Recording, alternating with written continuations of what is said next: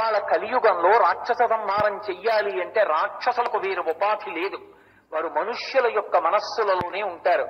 మనుష్యుల మనస్సులలో ఉన్న రాక్షసుల్ని సంహరించాలంటే మనిషిని సంహరించాలి. ఎన్ని కోట్ల మందిని చంపుతారు? అందుకే రాక్షసుల్ని సంహరించడం కాదు. పాపాల్ని తాను తీసేసి ఒరే పాపం చేయకరా అని మనకి బుద్ధి కలుపుతాడు మహానుభావుడు కారుణ్యమూర్తి అయి నిలబడ్డాడు. అందరం ఆనందనిలయంలోకి వెడితే అంటాం ఇంకొక రెండు నిమిషాలు ఉంచలేదండి తోసేశారండి అంటాం. ఒక మహానుభావుడు దేవాలయంలోకి వెళ్ళి బయటికి వచ్చి వలవల వలవలా ఏడ్చాడు. ఎందుకయా ఏడుస్తున్నావు? నిన్ను తోసేశారు అని ఏమైనా బాధగా ఉందా? అందుకు కాదండి నేను ఏడిచేది. ఒకనాడు ఆయన కోటి కాంతి కనపడలేదు. ఇవాళ ఆపాదమస్తకం కనపడుతున్నాడు. ఆయన ముందు నిలబడడానికి తగిన అర్హత ఒకటి నేను ముందు పొందాలి కదా ఒకటి. రెండు నేను లోపలికి వెళ్ళడానికి ఎంతసేపు నిలబడ్డాను? మహా అయితే ఓ ఇరవై నాలుగు గంటలు. అది కూడా కూర్చుంటున్నాం ఉప్మా పెడుతున్నారు మజ్జిగ ఇస్తున్నారు కాఫీ ఇస్తున్నారు పాలు ఇస్తున్నారు టీ ఇస్తున్నారు. ఆఖరికి మలమూత్ర విసర్జన చెయ్యవలసి వస్తే శౌచాలయాలు కూడా పక్కన పెట్టారు. ఇన్ని చేశారు. కానీ ఆయన ఎప్పటి నుంచి నించున్నాడో ఇలా కాలు కూడా ఇలా కలపడం. తాను కూర్చోలేడా? యోగంలో ఉన్న కృష్ణుడిలా పద్మాసనం వేసి కూర్చోగలడేం? గోవిందరాజస్వామి వారి గుడిలో కూర్చున్న కృష్ణ పరమాత్మ లేడు? కూర్చుంటే ఆర్తితో వచ్చిన పొట్టివాడు ఎవడైనా ఉంటాడేమో నేను చూడలేదని బాధపడతాడేమో. నువ్వు ఆయన్ని చూడడం ముఖ్యమా? ఆయన చూపుల్లో నువ్వు పడడం ముఖ్యమా? ఆయన నిన్ను చూడడం ముఖ్యం. ఆయన నిన్ను చూసి ఒరే ఒరే ఒరే ఒరే వీడు వచ్చాడు రో ఆయన పొంగిపోయాడు అనుకోండి అది జన్మ. అంతేగాని ఆయన్ని మనం ఎంత చూసి ప్రయోజనమే ఉంది? ఆయన మనని చూడాలి. కలియుగంలో నువ్వు నన్ను చూడడం కాదురా. అంత దూరంలో ఉన్నా నిన్ను చూడ్డానికి నేను ఇంక ఎత్తు మీద నిలబడ్డా. ఎప్పుడైనా కాలు కొంచెం ఇలా అంటాను అనుకుంటున్నావా? ఎప్పటి నుంచి నిలబడ్డాడు? కాళ్ళు ఎంత నిప్పులిట్టాయో. నిన్న ఒక్క రోజు మైకి ఇలా అడ్డంగా పెడితే అయ్యా కాళ్ళు ఇలా అనడానికి లేదు ఇవాళ కొంచెం ఇలా పెడుతురు అని అడిగాను. రెండు గంటలు కూర్చోడానికి. అటువంటిది ఆయన ఎప్పటి నుంచి నించున్నాడు అలా పద్మపీఠం మీద? అంత నిలబడ్డాడే. ఆయన కాళ్ళు పట్టడం ఎప్పుడవుతుందండి? కరుణామూర్తి నా కోసం అలా నించున్నాడు. కాళ్ళు పట్టాలనుందండి అని ఇచ్చాడు ఒక భక్తుడు. అది భక్తి అంటే అది హృదయమునందు లాలిత్యం అంటే. కాబట్టి కరుణాంతరంగుడై ఏడుకొండల ప్రభువు పైన నిలబడి ఉన్నాడు. ఆయన నిలబడి మనని జ్ఞానదృష్టితో చూస్తూనే ఉంటాడు. అందున కార్తీక మాసం మొన్ననే కదూ క్షీరాబ్ది ద్వాదశి బృందావనంలోకి వచ్చాడు అయ్యయ్యో నా బిడ్డలు ఎంత సంతోషంగా వచ్చి గ్రుంకులుడుతున్నారా? స్నానం ఈ మధ్యాహ్నం అయ్యేటప్పటికి కపిలతీర్థంలో ఎన్ని దీపాలు ఎంత సేవ ఎవరికి తోచింది వాళ్ళు పిల్లలు పెద్దలు పరవశించిపోతాడు పరమాత్మ. అది కదూ? చిన్న పిల్లవాడు ఉంటాడు మనవడు. బా కాళ్ళు చాలా నొప్పిడుతున్నాయి కాస్త కాళ్ళు పడతాయేంటి? అన్నాడు భార్యతోటి. అయ్యయ్యో పాపం పడదాం అనుకున్నానండి నిన్ననే ఆ ఏదో ఆ సాంబ్రాణి వేస్తుంటే కలిక వచ్చి వేలు మీద పడిపోయి కాలి బొబ్బెక్కిపోయింది. ఎలా పట్టనో పాపం మీరు ఎప్పుడూ అడగనే అడగరు. అడిగారు పట్టడానికి నాకు చెయ్యి కాలింది అంది భార్య. మనవరాలు చిన్ని తమలపాకులంతంత చేతులు దానికి. అది గబగబా వచ్చి మంచం ఎక్కి తాత కాళ్ళ దగ్గరికి కూర్చుని తాతగారండి తాతగారండి నేను కాళ్ళు పట్టనా తాతగారండి అని ఆ చిన్ని చిన్ని పాదాలతో కాళ్ళు ఇలా ఇలా అంటోంది. ఇంతలావు తాతగారి కాళ్ళు దాని చేతులకి ఏమందుతాయి? అది నొక్కితే మాత్రం ఆయనకేం బలలిక తీరుతుంది? నవ్వి అన్నాడు వద్దులే అమ్మా నువ్వేం పడతావో వద్దులే పో అన్నాడు. తాతగారండి తాతగారండి అలా అనకండి తాతగారండి మీకు కాళ్ళు నిప్పుడుతున్నాయి కాసేపు పడతాను తాతగారండి అని దాని చిన్ని చిన్ని చేతులతో అది కాసేపు ఇలా ఇలా ఏదో చిన్ని చిక్కుడాకులు అంత ఉన్నాయి ఆ చేతులు ఇలా ఇలా ఒత్తి వెళ్ళిపోయింది. ఇప్పుడు నిజంగా అతి బలశాలి అయినటువంటి తన కొడుకు కాళ్ళు పడితే పొందినటువంటి సంతోషం కన్నా మనవరాలు పరిగెత్తుకొచ్చి చిన్ని చిన్ని చేతులతో కాళ్ళు పడితే తాత మురిసిపోతాడు. నిజంగా ఆయన ఉన్న బ్రహ్మాండం అంతా మనం తుడవగలమా? కడవ కడగలమా కానీ ఆర్తితో వెళ్ళి ఒక గుడి గోడ తుడిస్తే మురిసిపోతాడు చూడవే. లక్ష్మి వాడు చూడు ఆ చేతులతో గోడ ఎలా తుడుస్తున్నాడో నా సేవ చెయ్యాలని పరమాత్మ ప్రీతికి మనం ఎంత చేశామని ఉండదు. ఎంత ప్రేమతో చేశామన్నది చూస్తాడు. లోచూపు కదూ ఆయన చూసేది అంత పరమ పవిత్రమైనటువంటి ఉత్సవాన్ని అంత గొప్ప తిథికి అనుసంధానం చెయ్యడానికి కారణం మనం తరించాలనేటటువంటి పరమ పవిత్రమైనటువంటి భావన. కాబట్టి రేపటి రోజున ఎక్కడెక్కడ తీర్థాలున్నా ఎక్కడెక్కడ నదులున్నా ఎక్కడెక్కడ చెరువులున్నా అక్కడక్కడ మనందరం స్నానం చేయాలి అందున ఎక్కడున్న వాళ్ళకన్నా తిరుపతిలో ఉన్న వాళ్ళు ఎన్ని రెట్లు భాగ్యవంతులు అంటే నేను చెప్పలేను. అది ఒక్క కార్తీక పౌర్ణమికి. ఎందుకంటే ఆ తిథి నాడు జరిగేటటువంటి అద్భుతం అటువంటిది. పైగా ముందు గొప్ప యజ్ఞ యజ్ఞాలు హోమాలు ఎన్నో చేశారు. కాలభైరవుడి దగ్గర నుంచి కామాక్షికి కపిలేశ్వరుడికి నందీశ్వరుడికి వీళ్ళందరికీ చండీమాతకి ఎన్ని హోమాలో చేసి ఉంచారు. యజ్ఞ క్రతువనేటటువంటిది అంత సామాన్యమైనది కాదు. మీరు బాగా గుర్తించాలి. సనాతన ధర్మంలో యజ్ఞానికి ఒక ప్రత్యేకమైన ప్రాధాన్యత ఉంది.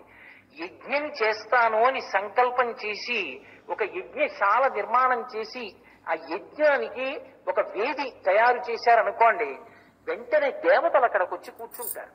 ఎందుకు కూర్చుంటారు అంటే వాళ్ళు హవిస్సు ప్రత్యక్షంగా తింటారు. నేను నాలుగు అరటిపళ్ళు అక్కడ పెట్టి నైవేద్యం పెట్టాను అనుకోండి ఏమో పరమభక్తి తత్పరులైతే నేను చెప్పలేను కానీ సామాన్య సిద్ధాంతంలో దేవతలు పదార్థం వంక చూస్తారంతే. వాళ్ళ చూపు చేత ఇంగిలి చేస్తారు. తప్ప అది తీసి నోట్లో పెట్టుకోరు. వాళ్ళు నోట్లో పెట్టుకోవాలి అంటే ఒక యజ్ఞంలో హవిస్సునే తింటారు. నన్ను మీ ఇంటికి భోజనానికి పిలిచారనుకోండి కోటేశ్వరారు ఇవాళ మా ఇంట్లో భోజనం చేయండి అన్నారనుకోండి వస్తానమ్మా మీ ఇంటికి భోజనానికి వస్తాను మధ్యాహ్నం ఒంటి గంటకు వస్తాను తల్లి అన్నాను. ఇప్పుడు మీరు వడ్డించేసి కూర్చుంటారా? కూర్చోరు. నేను మీ ఇంటికి రావాలి. వచ్చిన తర్వాత అయ్యా కాళ్ళు కడుక్కోండి చేతులు కడుక్కోండి ఓ తువ్వాలు పట్టుకొస్తారు. తుడుచుకున్న తర్వాత మీ భార్య గారు బాగున్నారా పిల్లలు బాగున్నారా ఏదో కుశలం అడిగి వడ్డించేసేయమంటారా అని అప్పుడు వడ్డన చేస్తారు. నేను తినడానికి వస్తున్నాను అంటే తిన్నగా వచ్చి విస్తర మీద పడిపోతాను అనేది దాని అర్థం. అంతకన్నా ముందు వచ్చి కూర్చుంటాను. రామాయణంలో ఒక మాట అంటాడు. ఇష్టింతేహం కరిష్యామి పుత్రియాం పుత్రకారణాత్. అథర్వశిరసి ప్రోక్తై మంత్రై సిద్ధాం విధానత అంటాడు ఋష్యశృంగుడు. ఓ దశరథ మహారాజా నీకు సంతానం కలగడం కోసం నేను ఇప్పుడు అథర్వ శిరసి మంత్రములతో అనుసంధానం చేసి యజ్ఞం చేస్తున్నానన్నాడు. ఇప్పుడు ఆ యజ్ఞంలో హవిస్సు తినడానికి దేవతలందరూ వచ్చి అక్కడ కూర్చున్నారు. అప్పుడు వాళ్ళందరూ రావణుడి గురించి మాట్లాడుతుంటే ఏతస్మిన్నంతరే విష్ణుహోరుపయాతో మహద్యుతి శంఖచక్ర గదాపాణి పీతవాస జగత్పతి. ఆ మధ్యలోకి విష్ణు భగవానుడు ఆవిర్భవించాడు. ఆయనని ప్రార్థన చేస్తే రామావతారం వచ్చింది. అంటే ఒక యజ్ఞం జరుగుతోంది అంటే ముందు దేవతలు వచ్చి అక్కడ కూర్చుంటారు. అందుకే యజ్ఞశాలకి ఒక్కసారి ప్రదక్షిణం చేస్తే చాలు. విశేష ఫలితం. అందున కపిల తీర్థంలో అన్ని హోమాలు జరిగి ఉన్నాయి. జరిగి ఉన్న ప్రాంగణాన్ని రేపు తొక్కి అందులో స్నానం చేసి ఒక దీపాన్ని వెలిగిస్తే దేవతలు పితృదేవతలు కూడా సంతోషిస్తారు. అంత గొప్ప క్షేత్రం మనకి కపిలతీర్థం. సరే వెంకటాచలం వెంకటేశ్వర ప్రభువు గురించి నేను ఎంత చెప్పినా తక్కువే. అటువంటి స్వామి కొండ మీద విలిచి ఉన్నాడు. అటువంటి క్షేత్రంలో ఇటువంటి కార్యక్రమాన్ని చేసుకోవడానికి అవకాశం కలిగి ఉండడం స్థానికులకి మరింత అద్భుతమైనటువంటి విశేషం. కాబట్టి కార్తీక కార్తీక మాసాన్ని మనం ధన్యం చేసుకోవడానికి తెల్లవారిందో ఒక పరమాద్భుతమైనటువంటి అవకాశం. ఒక క్షణకాలాన్ని కూడా దుర్వినియోగం చేసుకోకుండా ఆత్మోద్ధరణ కోసమని ఎవరికి వారు ప్రయత్నించవలసినటువంటి సమయం. అందుకే కార్తీక మాసానికి అధిదేవతగా ఎవరు ఉంటారు? ఎవరు అందుకుంటారు ఈ పూజల్ని? ఎవరు ఈ పూజ తీసుకుని సంతోషిస్తారు? ఎవరు ఈ పూజ చేత అనుగ్రహిస్తారు? అన్నారు. ఈ కార్తీక మాసానికి అధిదేవతలుగా దామోదరుడు త్రయంబకుడు. అందుకే నిన్న నేను మీతో మనవి చేసింది. దీపం పెట్టినప్పుడు దామోదరమావాహయామి అనైనా అనాలి.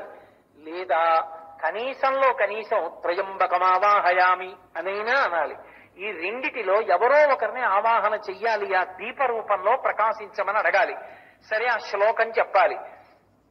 ఇక దామోదరుడు అన్న పేరు ఎవరు? ఎవరికి అన్వయం అవుతుంది? అంటే దామోదర శబ్దం చేత రెండు రకాలుగా ప్రకాశించేటటువంటి విష్ణు స్వరూపం చెప్పబడుతుంది. ఒకటి ఈ ఉదర భాగమునందు తులసివాలల చేత అలంకృతమై ఉన్నవాడెవడో వాడు బాహ్యమునందు మాంసనేత్రానికి దొరుకుతాడు. మీరు ఈ కంటితో చూడచ్చప్పుడు దామోదరుణ్ణి. కడుపుకి అడ్డంగా తులసిమాల వేసుకుంటాడు లేదా తులసిమాల కడుపుకి కట్టుకుని ఉంటాడు. అలా ఉన్నవాణ్ణి దామోదర అని పిలుస్తారు. తిరుపతి పట్టణవాసులకి ఇదొక పెద్ద అదృష్టం. గోవిందరాజస్వామి వారి దేవాలయానికి వెడితే కొంచెం తలకట్టున పెట్టుకుని ఇలా పడుకుని ఉంటాడు. పడుకుని ఉంటే ఆయన నాభికమలంలోంచి చతుర్ముఖ బ్రహ్మగారు ఉంటారు. పాదాల దగ్గర శ్రీదేవి భూదేవి ఉంటారు. మధుకైటభులన్న రాక్షసులు తపస్సు చేస్తూ ఉంటారు. పెద్ద అంతరాలయం. కడుపుకి అడ్డంగా తులసి మాలలు వేసుకుని పడుకుని ఉంటాడు.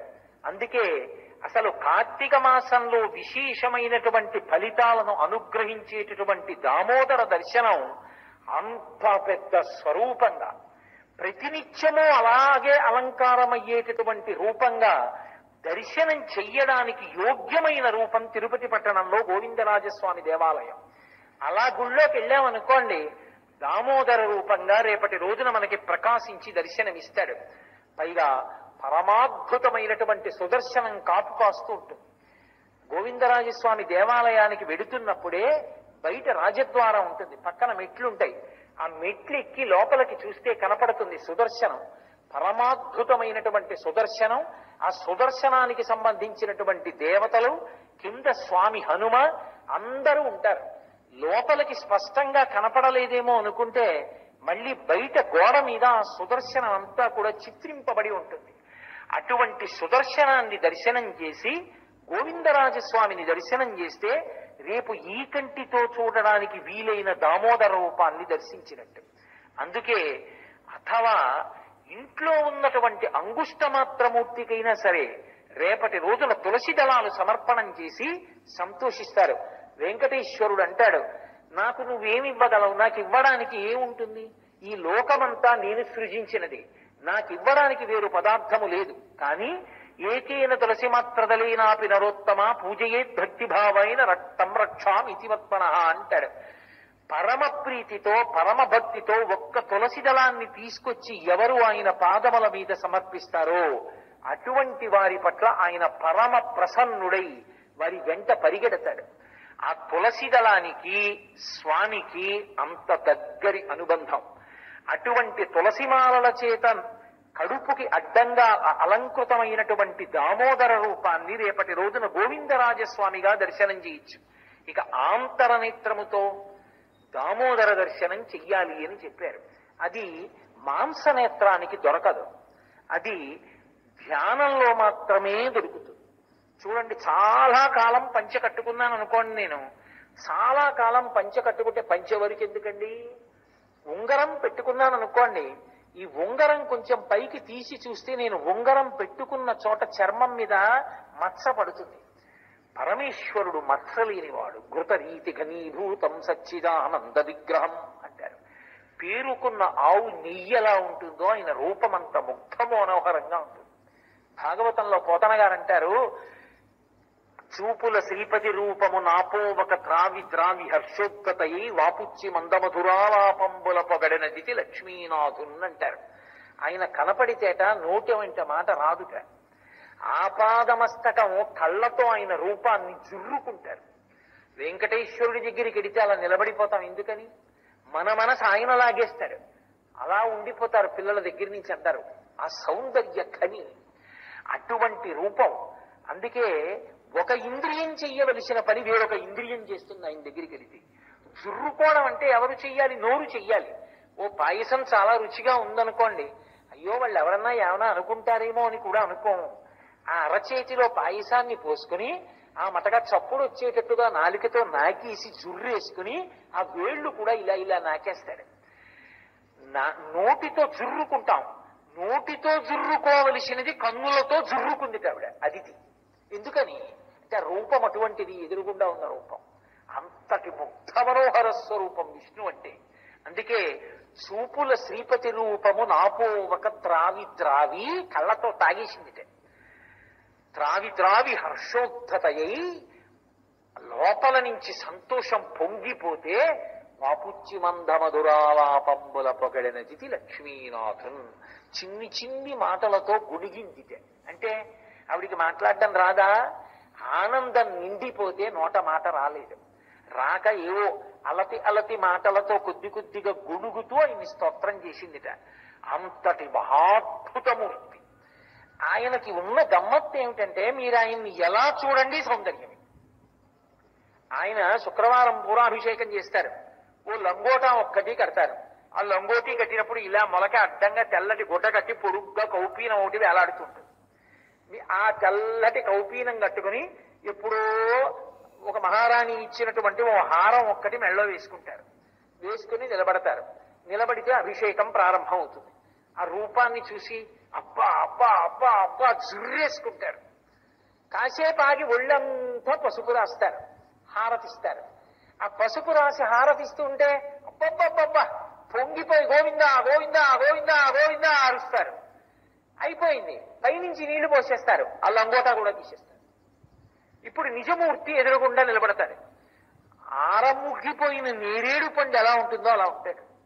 అలా ఉంటే నీరాజనం ఇస్తూ ఉంటే ఆ నీరాజనపు కాంతుల్లో కిరీటం దగ్గర నుంచి పాదాల వరకు చూస్తుంటే కొద్దిగా ఇలా నడు ఇలా పక్కకి పెట్టి వంగి నిలబడినటువంటి ఆమె సౌంద ఆ సౌందర్యం చూస్తే పరవశించిపోతారు.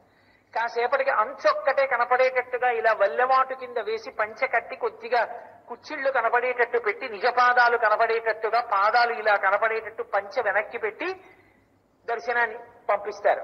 అప్పుడేం ఊర్ధపుండ్రాలు పెట్టారు కొద్దిగా పల్సగా పచ్చకర్పూరం అలదుతారు. అప్పుడు మహాందగాడు అబ్బా ఇవాళ నిజపాద దర్శనం చేసి ఎంత అందంగా ఉన్నాడండి అంటారు. ఓ గంట ఆగి కిరీటం పెట్టుకుని పెద్ద పంచ కట్టుకుని హారాలన్నీ వేసుకుని నిలబడతాడు. అబ్బా ఏమందామండి? అంటాడు. ఏమిటో? ఆ బట్టలన్నీ విప్పేస్తే అదోలా ఉన్నాడండి. అని ఎవరైనా అంటారా? ఎవరు అనరు ఎలా చూడండి అందం. గురువారం సాయంకాలం వెళ్ళండి సల్లిప్పు చేస్తారు.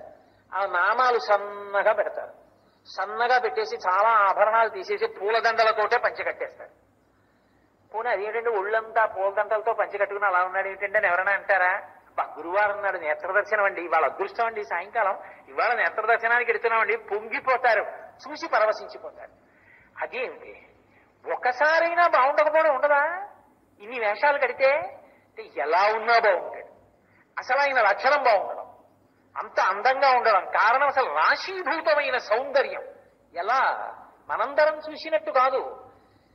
పసిపిల్లాడి రూపంలో పుట్టి శంఖచక్ర కథాబద్ధాలు పట్టుకున్నా అంతే అందంగా ఉంటాడు. అందుకే దర్శనం చేసిన పోతన గారి నోటి వెంటవో పద్యం పడింది భాగవతంలో. జలధరదేహు నాజాను చతుర్బాహు సరసీరుహక్షు విశాలవక్షు చారు గదా శంఖచక్ర విలాసు కంఠ కౌస్తుభమణి కంతిభాను కమనీయ కటిసూత్ర కంకణ కేయూర శ్రీవత్సలంచనంచిత విహారు మరుకుండల ప్రభాయుత కుత్తలలాటు వైఢూర్య మణిగణ వర కిరీటు బాలు పూర్ణేందు రుచిజాలు భక్త లోకపాలు సుగుణాల వాలు కృపా విశాలు చూచి తిలకించి పులకించి చోద్యమంది ఉబ్బి చెలరేగి వసుదేవుడు ఉత్సహించే అన్నారు. ఆ పిల్లవాడి రూపంలో పుట్టినటువంటి విష్ణు స్వరూపాన్ని చూసి పొంగిపోయాడంతే వసుదేవుడు నోట మాట్లాడలేదు అసలు ఆయన స్థితి ఏమిటి అంటే ఎప్పుడూ అందమే. అందుకే సరే మన సంగతి వదిలేయండి. అలా చూస్తే సంతోషపడిపోతాం. మన బేల హృదయాలకి అలవాటే. కానీ నిత్యానపాయే నిత్యానపాయని అయినటువంటి లక్ష్మీదేవి ఆయన వంక చూస్తేట ఇలా తల తిప్పుకోలేదుట. తల తిప్పుకోలేక ఏదో ఒకప్పుడు కొత్తగా కళ్యాణం అయింది అన్నట్టు ఒక నటన ఒకటి ఉంటుంది. ఒకప్పుడు క్షీరసాగరంలోంచి ఆవిర్భవించింది లక్ష్మీదేవి. ఆవిర్భవించి స్వామివారి మెడలో కలువల మాల వేసి వరించింది. ఇప్పుడు వాళ్ళిద్దరికి అప్పుడే పెళ్ళయింది. పెళ్ళై ఆయన అలా కూర్చున్నాడు ఈవిడ ఇలా కూర్చుంది. కానీ ఈవిడికి ఏమిటి కోరిక మనసులో? ఆయన్ని చూడకుండా ఉండలేదు ఆయన అందం అటువంటిది. అందుకని ఒకసారి ఇలా చూడాలి. ఇలా చూసిందనుకోండి చుట్టూ ఉన్న వాళ్ళందరూ ఏమంటారు? బా ఎలా చూసుకుంటుందో చూడు వాళ్ళు ఆయనంటారు కొత్తగా పెళ్ళయింది మనసులో సిగ్గు చూడకుండా ఉండలేదు. తాను చూస్తే ఇతరులు చూస్తారు. ఇతరులు చూడడం ఒకెత్తైతే తను చూస్తున్నానన్న విషయం ఆయన చూసేస్తే నన్ను ఎలా చూసుకుంటోందో చూడని ఆయన అనుకున్నాడేమో అనుకుని తాను సిగ్గుపడిపోతుంది. ఇది ముక్త. ముగ్ధ అంటే ఇన్ని సిగ్గుల మొగ్గ. శంకర భగవత్పాదులు కనకధారలో దర్శనం చేశారు. ముగ్ధా ముహుర్ విదదతి వదనే మురారేహే ప్రేమత్రపా ప్రణిహితాని గతా ఆగతాని.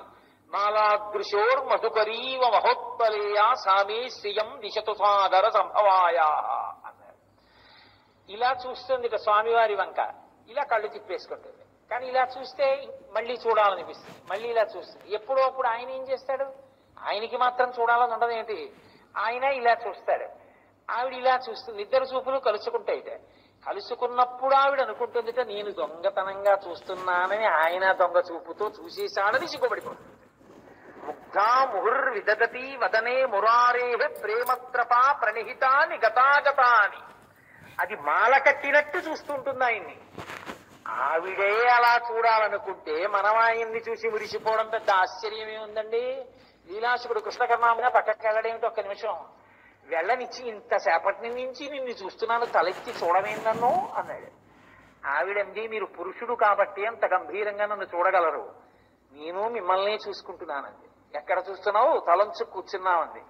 అందుకే మీకన్నా తెలివి తెలివిగా నేనేం చేశానంటే మెడలో ప్రతిబింబం పడే పతాకం ఒకటి వేసుకున్నాను. మీ ప్రతిబింబం ఈ పతాకంలో పడుతోంది. అందరూ నేనేమో తల వంచు కూర్చున్నాను అనుకుంటున్నారు. నేనేమో ఈ పథకంలో మిమ్మల్నే చూసుకుంటున్నాను. అలా అమ్మవారు ఆయనని విడిచి ఒక్క క్షణం ఉండదు నిత్యానపాయని. అంతటి సౌందర్యం. అటువంటి స్వామి మొలకి మచ్చపడింది ఇది రెండవది. ఒకటి బాహ్యంలో నడుం మీద ఉన్నటువంటి తులసిమాల. రెండవది ఆంతరనేత్రంతోనే చూడాలి. అది పై నేత్రానికి దొరికేది కాదు. ఆయన మొల అంటే ఇలా పంచె కట్టుకునే చోటు ఎక్కడుంటుందో ఆ మొల భాగం మచ్చ పడిపోయింది ఎందుకు పడిపోయింది? అంటే ఒక ఆజ్ఞురాలైనటువంటి గోపిక ఏమీ తెలియనటువంటి గోపజాతికి చెందినటువంటి ఒక స్త్రీ ఆయనని కట్టేసింది ఒకప్పుడు. కట్టేస్తే ఆ తాడు గట్టిగా ఉరుసుకుంది. అంత దివ్యమైన శరీరం ఎన్నడూ మచ్చలేని శరీరం. అటువంటి స్వామి రోటికి కట్టబడితే పారాడాడు. ఆ పారాడినప్పుడు ఆ మొలకి మచ్చ పడింది. ఆ మచ్చ పడినటువంటి వాడెవరున్నాడో వాడు దామోదరుడు. దామ్నా ఉదరే మాత్రా భద్ర ఇది దామోదర అని విత్పత్తి ఎవరు నడువుకి తాడు చేత కట్టబడ్డాడో వాడు దామోదరుడు. వాణ్ణి మానసికంగానే దర్శనం చెయ్యాలి బాహ్యంలో దొరకదు. మీరు కళ్ళు మూసుకుని ధ్యానం చేస్తే యశోదాదేవి చేత కట్టబడినటువంటి మచ్చబడినటువంటి మొలగలిగినటువంటి ఆ బాలకృష్ణ స్వరూపం ధ్యానంలో కనపడితే దామోదర దర్శనం అయిందంట ఎంతమంది ధ్యానంలో దామోదర దర్శనం చేయగలరు? అందుకే దామోదర దర్శనం చేశావా లేదా అన్న దానికన్నా కూడా దామోదర లీల వింటే చాలా. అందుకే భాగవతంలో అన్ని లీలల కన్నా చాలా గొప్ప లీలగా చెప్పబడేది ఇది అంటే దామోదర లీల. దామోదర లీల ఎవరో ఒకరు కాదు. బ్రహ్మచారులు గృహస్థులు వానప్రస్థులు సన్యాసులు అందరూ కూడా దామోదర లీలని ప్రత్యేకంగా వింటారు. అందున కార్తీక మాసంలో మరింత ప్రఖ్యాతి దామోదర లీల విని తీరాలి. ఎందుకని? కార్తీక మాసానికి అంతటికీ కూడా విష్ణు స్వరూపంగా దామోదరుడు అధిదేవత. కార్తీక దామోదరుడు అని పిలుస్తూ ఉంటాం. అటువంటి ఆ కార్తీక దామోదరుడు ఎవరున్నాడో ఆయన మొల మీద మత్స పొందినవాడు. ఎందుకు మత్స పొందాడు? బాలకృష్ణుడిగా ఉన్న రోజులలో ఆయన ఈ అద్భుతమైనటువంటి లీల చేశాడు. యశోదాదేవి ఒకప్పుడు చల్ల చిలుకుతోంది. ఇప్పటికీ వెంకటేశ్వరుడికి సుప్రభాతం చేస్తే ఇన్ని చెప్పినా ఆయన నిద్ర లేవలేదనుకోండి. అంటే నిద్ర లేవలేదని కాదు భావన సౌకుమార్యం. అప్పుడు కృష్ణావతారాన్ని గుర్తు చేస్తారు. స్వామి అదిగో చూశావా? ఆ పెరుగు చిలుకుతున్న చప్పుడు వినపడుతోంది నిద్రలే అంటారు. ఆ యశోద చల్ల చిలుకుతోంది. దది గోపాల బాలురకు గోపకాంతలకు కూడా పరమ పవిత్రమైనటువంటి కర్మ. ఎందుకంటే వాళ్ళ ఐశ్వర్యం అంతా అక్కడే ఉంటుంది. ఆ పెరుగు చిలికినప్పుడు వచ్చినటువంటి వెన్న ఏది ఉందో అదే వాళ్ళ ఐశ్వర్యమునకు హేతువు అందుకే ఆవిడ స్నానం చేసి ఓ మంచి ఆరవేసిన బట్ట కట్టుకుని జడ నిండా ఆ కొప్పు నిండా పువ్వులు పెట్టుకుని మెడలో హారాలు వేసుకుని చేతి గాజులు చప్పుడవుతూ ఉండగా కవ్వానికి తాడు కట్టి ఆవిడ ఆ దధిమధనం చేస్తోంది పెరుగు చిలుకుతోంది. ఆ పెరుగు చిలుకుతూ ఉండగా కృష్ణ పరమాత్మ లోకం కోసం నేను ఒక లీల చెయ్యాలి అని సంకల్పం చేశాడు. ఒక మహాద్భుతమైనటువంటి లీల చేస్తాను ఇవాళ. లీల అంటే కర్మజనితమైనది కాదు. ఈశ్వరుడు లోకోద్ధరణ కొరకు చేస్తాడు ఒక పని. ఆ పని నేను ఇవాళ చేస్తాను అని సంకల్పం చేశాడు. చేసి ఆయన పరిగెత్తుకుంటూ వచ్చాడు. సుడిగిచు గిజుకుచు వాలుచు సడికొట్టుచు అమ్మ రమ్ము చన్నిమ్మను చొన్బెడబెడ గంతులు వయిచుచు కదిసి కడవ బాలకొండు కవ్వము పట్టాను. ఎక్కడి నుంచి వచ్చాడో చిన్ని కృష్ణుడు పరుగు పరుగును వచ్చాడు. వచ్చి అమ్మా అమ్మా నాకు చాలా ఆకలి వేసేస్తోందమ్మా అదిగో నేను పిల్లలతో ఆడుకుంటున్నాను.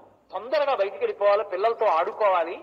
నాకు తొందరగా కాస్త పాలు ఇచ్చేసేయమ్మా పాలు తాగి వెళ్ళిపోతాను అని గబగబా భూకరించి మాట్లాడాడు. చూసింది అమ్మ నిన్నగాక మొన్న పుట్టాడు. వీడికి పెద్ద ఏదో రాసకార్యం ఉన్నట్టు పైన పిల్లలతో ఆడుకోవాలట. అందుకని నేను వీడికి గబగబా పాలు పట్టేయాలట. పాలు తాగేస్తే వెళ్ళిపోతాట. అమ్మ తొందరగా పాలిస్తావా ఇవ్వా. అమ్మని పెద్ద హూంకరించి అడుగుతున్నాడు. చూద్దాం ఏం చేస్తాడో ఇవ్వకపోతే అని ఆవిడ చిరునవ్వు నవ్వి తల తిప్పేసుకుని ఏమీ తెలియనట్టు చల్ల చేసుకుంటాం. ఈ చిన్ని కృష్ణుడు ఏం చేశాడంటే పూల పట్నం లాంటి చెయ్య చిన్ని చేతులున్నటువంటి చిన్ని కృష్ణుడు. వెళ్ళి ఆ కవ్వాన్ని పట్టుకున్నాడు. అమ్మా అమ్మ ఆపుతావా ఆపవా నాకు అసలు పాలిస్తావా ఇవ్వా అమ్మా నేను తొందరగా పాలు తాగాలమ్మా ఆడుకోవడానికి వెళ్ళిపోవాలమ్మా అన్నాడు. ఆ కవ్వం తిప్పుతూ ఉండగా పిల్లవాడు పట్టుకుంటే ఆ చిన్ని చెయ్యి ఎక్కడ చిట్లిపోతుందోనని యశోద ఆ కవ్వపు తాటిని చిలకడం ఆపేసి ఆపేయగానే ఆయన ఆ కవ్వాన్ని పట్టుకున్నట్టుగా పట్టుకున్నాడు. ఇప్పుడు సంతోషంతో యశోద ఆ పిల్లవాడిని తీసుకుని ఒడిలో పడుకోబెట్టుకుని స్తన్యమిచ్చి పాలిస్తోంది. ఈ పాలిస్తుండగా ఎదురుగుండా దాలి అంటారు పిడకలతో అమరికగా ముక్కలు చేసి ఆ దాలి ఏర్పాటు చేసి దాని మీద కుండ పెట్టి పాలు పోసి కాస్తారు. సన్నని సెగ మీద కాగుతాయి. పల్లెటూళ్ళల్లో పాలు కాచేటటువంటి వారికి తెలుస్తుంది ఎర్రటి తట్టు కట్టి మంచి కమ్మగా ఉంటాయి ఆ పాలు. ఆవిడ పాలు కాస్తోంది అవి గంట రెండు గంటల తర్వాత పొంగుతాయి. మెల్లగా పొంగుతాయి. అవి. ఆవిడ పిల్లవాడికి పాలిస్తోంది ఎదురుగుండా కుండలో దాలిలో దాలి మీద పెట్టిన కుండలోని పాలు పైకొస్తూ కనపడ్డాయి. పాలు పొంగిపోతాయేమోనని పిల్లవాడిని గభాలను తీసి కింద దింపేసి ఆవిడ పరిగెత్తుకుంటూ దాలి దగ్గరికి వెళ్ళింది.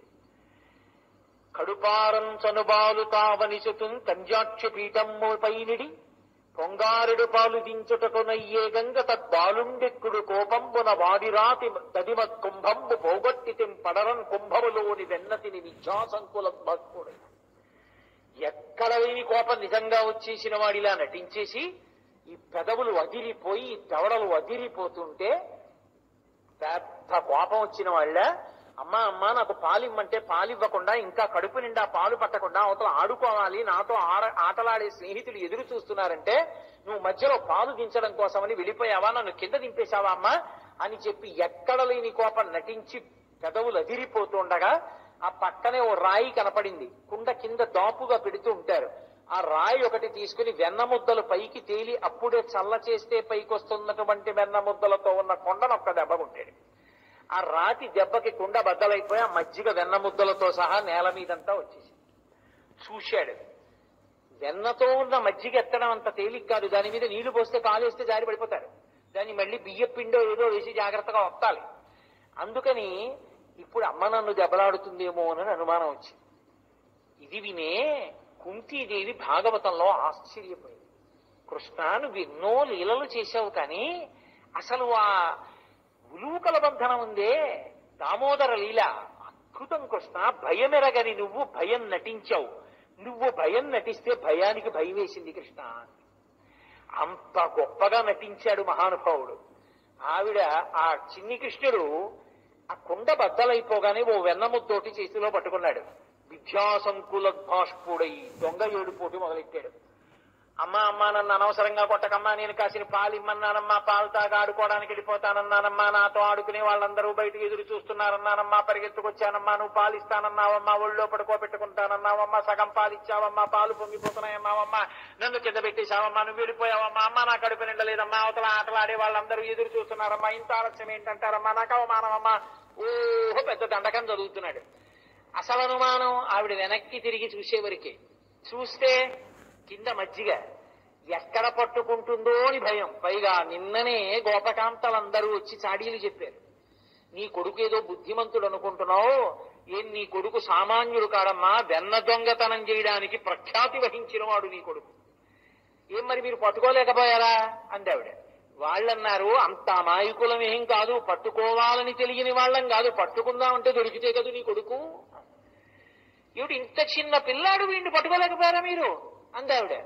ఏదో ఆ మొగుడు కొట్టాడని కాదు తోడికోడలు తెప్పిందని ఏడిచినట్టు ఇప్పుడు కృష్ణుడు కుండ బద్దల కొట్టాడని కాదు కృష్ణుడిని పట్టుకోకపోతే వాళ్ళందరూ గోడ నుంచి చూస్తున్నారు. ఏం మీరు పట్టుకోలేకపోయారే? అంది కదా ఇప్పుడు నువ్వు పట్టుకో చూస్తాం. దొరుకుతాడా చిన్ని కృష్ణుడు? అది ఆవిడ బెంగ. అందుకని ఇప్పుడు చూశాడు పరిగెత్తుకుంటూ నిశ్శబ్దంగా ఇంట్లోంచి బయటికి వెళ్ళిపోయాడు. ఆవిడ చూసింది. కిందంతా మజ్జిగ వెన్న తలెత్తి చూసింది. గోడ దగ్గర గోపకాంతలందరూ అటువైపు నిలబడ్డారు. ఓ పెద్ద ప్రత్యక్ష ప్రసారం. ఏమవుతుంది? పట్టుకుంటుందా? ఎంత పరిగెడుతుంది? మనకి దొరకలేదండిగా? చూద్దాం ఇప్పుడు ఎలా పట్టుకుంటుందో. ఏమా ఈ సామాన్యుడా దొరకడానికి? వాళ్ళు పాపం చెప్పుకున్నారు. బాలురకు పాలు లేవని బాలింతలు మొరలు పెట్ట పట గియా బాలుండాలము చేయుచు ఆలకు ప్రియపులను విడిచే అంబోజక్షి ఇల్లుసొచ్చి కడవల దౌరంబుగ నీయి తాగి తుదనా కడవల్ వీరింట నీసుతుండిడ వారికి వీరికిని పెద్దవాదయ్య సతీ ఆడంగని మీగడ పెరుగోడక నీ సుతుడు త్రావి ఒక ఇంచుకత కోడలి మూతింజరిమిన కోడలు ముచ్చనుచు అత్త కొట్టెల తాంగి వారిల్లు సొచ్చి కడవల దౌరంబుగ నెయ్యి త్రాగి ఎక్కడికెడితే అక్కడే వెన్న దొంగతనం ఎంత వెన్న దొంగతనం చేసేవాడంటే ఒకవేళ ఆయన వెళ్ళిన తరువాత ఒక ఆవిడ బాగా పైకి కట్టింది ఆ కడవ. అందలేదనుకోండి. వారి ఇల్లు సొచ్చి తా ఉట్టి అందక పీటలు రోలు ప్రోవిడి ఎక్కి చేపెట్టజాలక కుండ కిందొక పెద్ద తూటొనరించి నీ పట్టి నీ గడపాలు చెరలు పట్టి త్రావెతలోదరి ఇంకా దీనికి నేను అర్థం చెప్పక్కల్లా ఎక్కడో ఉట్టి కట్టింది ఆవిడ దొరకదు కదా పిల్లాడని. వచ్చాడు పీటలు వేశాడు రోడ్లు వేశాడు పైకి ఎక్కాడు. చెయ్యి పెట్టడానికి అందలా. ఆ కుండ కిందో పెద్ద కన్నం పెట్టాడు. చక్కగా తాగిపోతోంది వెన్న. పిల్లలందరూ వరుస క్రమంలో వచ్చారు చక్కగా తాగేశారు వెళ్ళిపోయారు. ఎక్కడెక్కడి దొంగతనం అమ్మా? ఎవడు పట్టుకుంటాడమ్మా నీ కొడుకుని? పోయమ్మ నీ కుమారుడు మా ఇండ్లను పాలు పెరుగు మన నీడమ్మ పోజదనెక్కడికైనను మాయమ్ముల సురభులాన మంజుల వాణి అని వాళ్ళు విసుక్కున్నారు. భాగవతం కాదు కానీ ఇది చెప్తే అదో సంతోషం నాకు. ఆ ఒక గోపిక చాలా తెలివైంది. ఆవిడ ఏం చేసిందంటే ఆ కడవకంతటికి కూడా గంటలు కట్టింది. ముట్టుకుంటే మోగుతాయి కదా? అన్నం పెట్టడానికైనా ముట్టుకోవాలిగా ముట్టుకుంటే మోగుతాయిగా మోగితే పెళ్ళి పట్టుకుంటారు. ఈయన వచ్చాడు ఎలా ముట్టుకోవడం? పైకి ఎక్కాడు చూశాడు ముట్టుకుంటే గంటలు మోగుతాయి. అమ్మో చాలా గడుసు గోపిక. ఏం చెయ్యాలనుకున్నాడు? ఆయన పరాత్పరుడు ఆయన శాసనం చేస్తే ఏమైనా జరగాలి. ఓ గంటలారా మీరు మ్రోగకుడు? అలాగే స్వామి. చక్కగా అందులో చెయ్యెట్టాడు వెన్న తీశాడు పిల్లలకి ఎట్టాడు ముందు అందరికీ పెట్టేస్తాడు ఆఖరణ పందింటాడు అది ఆయన నిజాయితీ. ఆఖరణ తీసి ఇలా నోటి దగ్గర పెట్టుకున్నాడు. గనగన గనగన మోగి. అరే మిమ్మల్ని మోగద్దన్నాను ఎందుకు మోగారన్నాడు. అయ్యా వాళ్ళకి పెట్టారు మేము మోగలేదు. మీరు తింటే నైవేద్యం అలవాటు మాకు గంట కొట్టడం నైవేద్యంలో. మీరు తింటే మోగామన్నాడు. ఎన్ని లీలలు ఒకట రెండా? మహానుభావుడు ఎంత అద్భుతాలు సృష్టించాడు. ఎంతమంది అండి ఒకరా ఇద్దరా? వ్యాసుడు పోతనగారు లీలాశకుడు ఎంతమంది ఎంత అనుభవించారో ఆయన లీలలు. నాకు ఆ లీలాశకుడు అనుభవించినటువంటి కృష్ణలీలలో చోరలీలలో అసలు అర్ధరాత్రి నిద్దట్లో నాకు జ్ఞాపకానికి వచ్చిన పరమ సంతోషాన్ని ఇస్తుంటుంది శ్లోకం. ఒక గోపిక చాలా గడుసుది. పట్టుకుంటే ఆ కృష్ణుడిని ఎలా పారిపోతాడో చూస్తానంది. గుమ్మం ఎదురుగుండా వెన్నకుండా పెట్టింది. కనపడదేమో అని కొంచెం కనపడేటట్టు ఓరవాకిలిగా ఇలా పెట్టింది వాలుగా. పెట్టి తలుపు వెనక నించింది. వస్తాడు కదా పట్టుకుంటాడు. రాణి వచ్చాడు. రెడ్ హ్యాండెడ్గా దొరకాలి కదా సాక్ష్యంతో. చూస్తోంది. చేతికి ఉంది వెన్న నోటికి లేదు. నేను తిన్నానా? అంటాడు. అందుకని అందరికీ పెట్టేశాడు అయిపోయింది. ఎవరూ లేరు కదా ఇంట్లో పాపం అమాయకురాలు ఇక్కడ ఎట్టింది కొండనుకుని తీసి ఇలా నోటి దగ్గర ఎట్టుకున్నాడు. పక్కన నుంచి పట్టుకున్నాడు చెయ్యి. ఆ అమ్మాయి అలాగే దొరికాడు రా సాక్ష్యంతో. ఎలాగో దొరికాడు కదా పిల్లాడు ఏం చేస్తాడో చూద్దానికి కస్వంబాల ఎవరు నువ్వు అంది ఆయన ఏం తడుముకోలేదు బలానుజ బలరాముడు తమ్ముడు అన్నాడు. ఆయన ఊసిందికి ఇప్పుడు? ఆయన ఏదో ఇంట్లో కూర్చుని పని చేసుకుంటున్నాడు. ఆయన్ని తీసుకొచ్చాడు. బలానుజ అన్నాడు. తన పేరు చెప్పలేదు. ఓహో కస్వంబాల బలానుజ కిమిహతే. ఇక్కడికి ఎందుకు వచ్చావు? అంది. ఓసారి ఇలా చూసి ఓ మన్మందిరా శంకయ మా ఇల్లు అనుకున్నాను కాదా? అమ్మ బాబోయ్ గుండెలు తీసిన బంటు మీ ఇల్లు అనుకుని వచ్చావా? సరే పోన్లే. మన్మందిరా శంకయ అలా అయితే ఎందుకు కుండలో చెయ్యి పెట్టి తిప్పుతున్నావు వెన్నలో? ఎందుకండి? అంటే ఆయన ఏమీ చదువుకోలేదు. ఆయన అన్నాడు అమ్మా మాదా విషాదంచన కాసేపు మాట్లాడకుండా ఉంటావా నువ్వు? మా ఇంట్లో దూడ తప్పిపోయింది. చస్తున్నాను వెతకలేక కుండలో ఉందేమో అని చేయి పెట్టి వెతుకుతున్నాను నువ్వు వరిస్తే దూ దూడ దూకి పారిపోతే మళ్ళీ నేను పరిగెత్తనా? కాసేపు మాట్లాడకుండా ఉంటావా? ఆవిడ ఇది విని అమ్మ బాబోయ్ గుండెలు తీసిన బంటు దూడ దు- వె- దూరిందా అని ఇలా అంది. ఇచ్చేవం వరవల్లవి ప్రతివచ కృష్ణస్య పుష్ణాతున. ఆవిడ చెయ్యొదిలి ఇలా అనేటప్పటికీ పారిపోయాడు అలా ఓపకాంత జవాబు చెప్పలేని రీతి రీతిలో గడుసుగా ప్రవర్తించిన చిన్ని కృష్ణుడు మమ్ము రక్షించుగాక. ఈ గోపకాంతలు నిన్న వచ్చి చాడీలు చెప్పారు కదా వాళ్ళందరూ గోడ దగ్గర నిలబడ్డారు. ఏం చేస్తుందో చూద్దాం యశోద పట్టుకుంటుందో పట్టుకోదో. ఇప్పుడు ఆవిడ ఆ పాలకుండలో పొంగుతున్నటువంటి పాలవంక చూసి పాపం వెనక్కి తిరిగింది అంతే పిల్లాడికి బాలిద్దామని అయిపోయింది. కూడా మొదలు కొట్టేశాడు వెన్న మజ్జిగ అన్ని కింద పడిపోయి మళ్ళీ ఒకసారి వెనక్కి రండి. అన్ని కింద పడిపోయి శుభ్రంగా ఓ వెన్న ముద్ద పెట్టుకున్నాడు పక్కకి వెళ్ళిపోయాడు. ఇప్పుడు ఆవిడ చూసింది లాలనమున బహుదోషము లోలింప్రాపించు తాడనోపాయములం చాల గుణంబులు కలుగును తాడనంబె బాలు రకును తథ్యం పథ్యం వరయన్. మా పిల్లాడు మా పిల్లాడని చెప్పి ముద్దు చేస్తే పిల్లలు పాడైపోతారు. ఒక్క రెండు తగల్ని ఇవ్వాలి వాళ్ళకి. తగల్నిస్తేనే బుద్ధిగా ఉంటారు. అందుకని ఇలా వేలు చూపిస్తాను ఎవరికి? ఈతడఖిలంబునకు ఈశ్వరుండై సకల భూతములలోన తాపొగలు వాడితడు అంటాడు అన్నమయ్య అన్ని భూతములలో ఉండగలిగినటువంటి వాడు సకల బ్రహ్మాండములను నిండిపోయినటువంటి స్వామికి ఒక అజ్ఞురాలైన గోపిక ఇలా వేలు చూపిస్తానంటోంది కడతాను కొడతానంది. రెండు దెబ్బలు పడితే తప్ప లొంగడం. లాలనమున బహుదోషము లూలింప్రాపించు తాడనోపాయములం చాలా గుణంబులు కలుగును. తాడనంబె బాలు రఘును పచ్చంబరయన్. అప్పుడప్పుడు రెండు బలాలి పిల్లలకి. అది కొడత కొట్టేస్తానంటే అంత తేలికే దొరికేస్తాడేంటి? అందుకని ఆవిడ పెద్ద అభ్యాసం చేసింది పరిశ్రమ చేసింది దానికోసం. పాప చీర తీసింది ఇలా పైకెత్తింది దోపుకుంది ఇలా పమిట కొంగి ఇలా చుట్టూ తిప్పింది మొలలో పెట్టుకుంది ఆ కొప్పు గట్టిగా వేసుకుంది ఆ పువ్వుల మాల గట్టిగా ఇలా కొప్పులోకి తోసుకుంది జారిపోకుండాను ఆ నగలన్నీ పైకున్నవి తీసుకుంది రవికలోకి వేసుకుంది ఆ చేతి కంకణాలు ఇలా ఇలా పైకి పెట్టుకుంది. ఇప్పుడు కృష్ణుడి వెంట పరిగెత్తి పట్టుకోవడానికి సిద్ధపడింది. తనని చూస్తే పారిపోతాడు.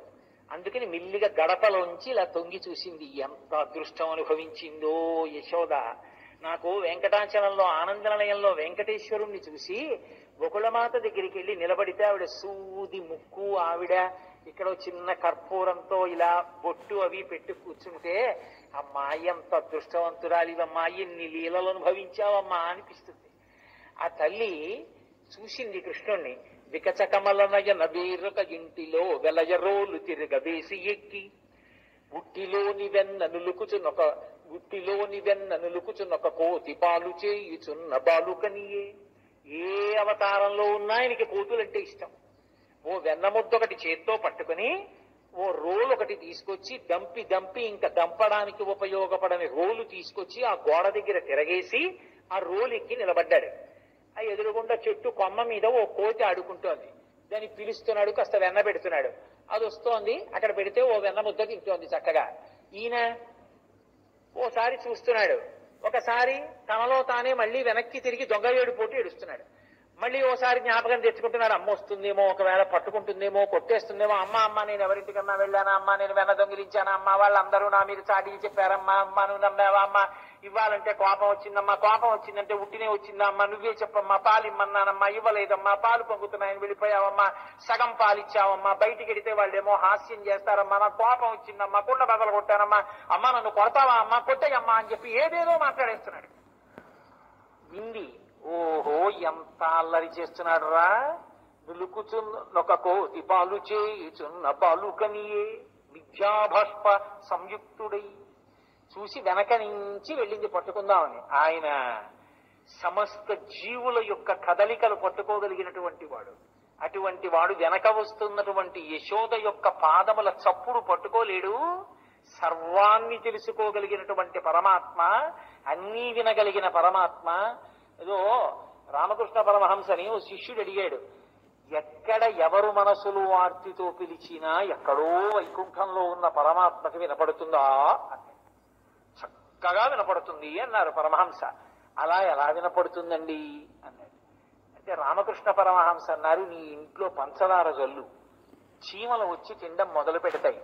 అన్ని చీమలలోకి చిన్న చీమ ఏదుందో ఆ చీమ చచ్చిపోకుండా జాగ్రత్తగా పట్టుకుని కంసాలి దగ్గరికి తీసుకెళ్ళావు. దానికి ఎన్ని కాళ్ళు ఉన్నాయో అన్ని కాళ్ళకి చీమ పెద్దదైపోక ముందే తొందరగా గజ్జెల పట్టాలు చేయించు. చేయించి గజ్జెల పట్టాలు తెచ్చి చీమ యొక్క కాళ్ళకి అమర్చు. విడిచిపెట్టు. చీమ పాకుతున్నప్పుడు చీమ కాళ్ళు కదులుతుంటే కాళ్ళకున్న గజ్జెల పట్టాలు మోగితే ఆ మూట కూడా ఈశ్వరుడు వినగలడు. అటువంటి ఆయన వెనక వస్తున్న యశోద పద ఘట్టనలు ఆయనకి వినపడవు. అందుకే ఒక్క దూకు దూకేశాడు. ఆ ఇల్లు బోరెడన్ని స్తంభాలతో చేయబడింది. నర్తనశాలలో తిక్కన గారు వర్ణిస్తారు విరాట పర్వంలో. ద్వంతాకారిత కుంజగుట్టి మగన స్తంభావళీ రూపమున్ ప్రాంతాది ప్రవిభాగ భోగ నిలయ ప్రగ్వారమున్ కాతరస్వంతత్రాసకరుండనై దురభిమీశంబైన యాలోను నిశ్చితుడై సతికేలు పట్టుకుని చొచ్చన్ భీముడచ్చుగ్రతన్నది. ఆ స్తంభాలతో ఉన్న నర్తనశాల ఎలా ఉంటుందో అలా అన్ని స్తంభాలతో ఉంది. గబగబా వెళ్ళాడు. ఆయన ఎంత ఉంటాడు ఇంత చిన్నవాడు వెడుతున్నాడు గబుక్కున స్తంభం చాటున నొక్కుతున్నాడు. పాపం ఈవిడ పరిగెత్తాలి పిల్లాడి గనక స్తంభాధికంబులు తనకు అడ్డంబైన అట్టట్టునని పట్టువని వీని ఈ తప్పు సైరింపు ఇక్కతొంగిన బోను నేనని ముని ముట్ట నిడ్చువాని కాటుక నిరయంగ కందులు నులుముచు వెడలు కన్నీటితో వగచువాని ఏ దశ ఇది పలుమార్లు సురుగుచు క్రీగంట చుచువాని గూడవారి పట్టుకొని వెర్రపుచు చిన్ని వెన్న దొంగ చిక్కెననుచు కొత్త చేతులాడక పూబోడి కరుణతోడబాలు కట్టదలచే. ఆ స్తంభాలకన్నిటి అడ్డం పెట్టుకుని ఆ చాట్న దాక్కుంటున్నాడు అటు పరిగెడుతున్నాడు ఇటు పరిగెడుతున్నాడు నిశ్శబ్దంగా నక్కి ఉంటున్నాడు. అమ్మేమో ఎక్కడ పారిపోతాడో అని అలా వెళ్ళి ఇలా వెళ్ళి ఇలా చూస్తోంది అలా చూస్తోంది. ఆ చాట్ ఉన్నవాడు అమ్మని చూడగానే ఇటు పరిగెట్టినట్టు చేస్తాడు. పాప అమ్మ ఇలా పెడదామంటే అలా పెడతాడు. ఆవిడేమో శ్రమ పడిపోతోంది అమ్మా అమ్మ ఇంకెప్పుడు నీ దొంగతనం చేయనమ్మా నేను ఎవరింటికి వెళ్ళనమ్మా నీకు ఇప్పుడు అప్రతిష్ట తానమ్మా అమ్మ నన్ను విడిచిపెట్టేయమ్మా అంటున్నాడు. ఇలా ఇలా ఇలా ఇలా కళ్ళు నిలిమేసుకుని ఏడుస్తుంటే దొంగ ఏడుపుకి ఆ చేతి మండంతా నల్లగా కాటి కంటుకుపోయింది ఇక్కడ వరకు కాటి కంటుకుపోయింది ఆ కన్నీళ్ళు ఇలా కారిపోతున్నాయి. బుగ్గలు ఎర్ర పడిపోయాయి దొంగ ఏడుపు ఏడుస్తూ నిజంగా ఏదో అమ్మ కొట్టేస్తుందని భయపడిపోయిన వాడిలా ఏడిచాడు. అంత భయం నటించాడు. శ్రీకృష్ణాయుధభూషణ నరసఖా శృంగార రత్నాకర లోకద్రోహి నరేంద్ర వంశదహన లోకేశ్వర దేవతా నీక బ్రాహ్మణ గోగనాత్యహరణ నిర్మాణ సంధాయక నీకు నృక్యద త్రుంపవే భవలతల్ నిచ్చాను కంపానిధి అంటూ కుంతీదేవి ఈ లీలనే స్తోత్రం చేస్తుంది. ఎంత భయం నటించావు కృష్ణ? అలా కళ్ళంతా కాటికి చేసేసుకున్నాడు పరిగెడుతున్నాడు ఏడుస్తున్నాడు. ఆఖరికి పాపం పిచ్చి అమ్మ నా కోసం ఇంత పరిగెడుతోంది. బొడల చెమటనగ ఎనుత్తరీయము జార తురుముకున్న విరులు జారిరాల పట్టరాని తనను పట్టెదనని చింత కట్టుకున్న తల్లి కరుణ చూచి.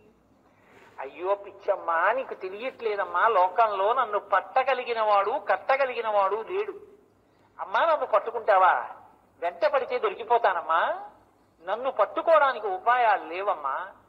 కానీ నన్ను పట్టుకుంటాను పట్టుకుంటానని పరిగెత్తడంలో నీ ఒళ్ళంతా చెమట పట్టింది. నీవు వేసుకున్నటువంటి పమిట జారి పడిపోతోంది. ఆ నీ సిగలో పెట్టుకున్న పువ్వులన్నీ కింద పడిపోయి అమ్మా నిన్ను చూస్తే జాలేస్తోంది.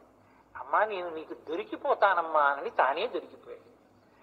గూడబారి పట్టుకొని ఏదో చెయ్యెట్టుకోలేదు ఆవిడ. అసలు భాగవతంలో అద్భుతాన్ని సృష్టించాడు కదండి. ఇక్కడ పట్టుకుంది ఆవిడ. ఈ చెయ్యి ఇక్కడ పట్టుకొని గూడబారి పట్టుకొని ఎడంచేత్తో ఇలా పట్టుకుని మోకాళ్ళ మీద కూర్చుంది. చిన్నివాడు కదూ వెర్రపుచ్చు ఇలా వేలు చూపించింది ఎవరికి? ఎవరి దేవాలయంలోకి వెళ్ళాలంటే జయ విజయులు ఇలా చూపిస్తారో శౌచంతో వెళ్ళమని ముప్పై మూడు కోట్ల మంది దేవతలు కూడా ఆయన ఉన్న చోటికి వెళ్ళలేరు. భూదేవి అంతటిదే ఆయన దగ్గరికి వెళ్ళలేక గోరూపాన్ని ధరించి ప్రార్థన చేస్తుందో ఎవరి వాణి అశరీరవాణిగా వినపడుతుందో ఎవడు పరాత్పరుడో ఎవడు సమస్తమైన బ్రహ్మాండములు నిండిపోయాడో అటువంటి పరమాత్మని ఇలా వేలు చూపించగలిగిన వాణ్ణి నిగ్రహానుగ్రహ సమర్థుణ్ణి పట్టుకుని ఇలా చూపించింది. ఏం అదృష్టం ఆ యశోదది? ఆయనకి ఇలా వేలు చూపించడమే?